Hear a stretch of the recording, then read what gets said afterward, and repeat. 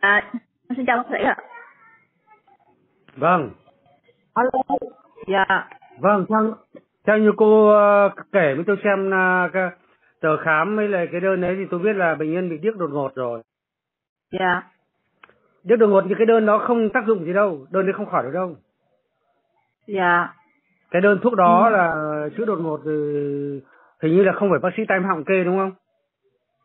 Dạ bác sĩ ờ, ba chắc là đi khám mà bác sĩ tai mũi họng nhưng mà không biết sao bác sĩ nó là sợ bị tai biến cho nên bác sĩ cho cái đơn đó.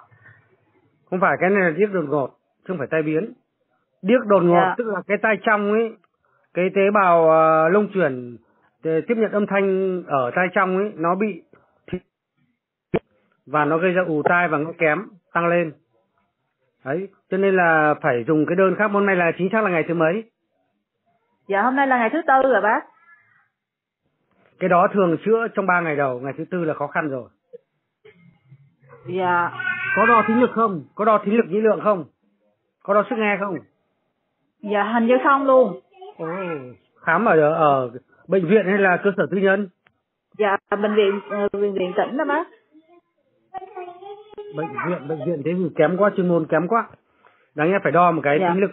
Thôi được rồi, thì bây giờ tôi sẽ kê cho cô một cái phác đồ điều trị điếc đột ngột.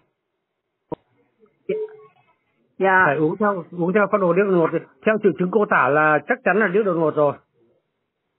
Dạ. Tôi chỉ muốn đo kết quả đo thì mình biết là điếc tần số cao, tần số thấp hay là mình nhìn vào đó mình tiên lượng được như thế nào. Thường Dạ. ấy chữa trong 3 ngày đầu. Thường là trong 3 ngày đầu là chữa khỏi, cần ngoài 3 ngày là rất khó khăn. Bây giờ tôi kê luôn cho cô đi mua thuốc cho ông nhé. Dạ dạ cảm ơn bác sĩ. Ờ, Dạ. rồi. Có gì cần gì cứ liên lạc nhé. Dạ. Ừ, rồi, cảm ơn. Để tôi kê luôn. Dạ. Kê luôn là phần mềm của cái này. Ừ. Dạ. Dạ. Cảm ơn bác sĩ.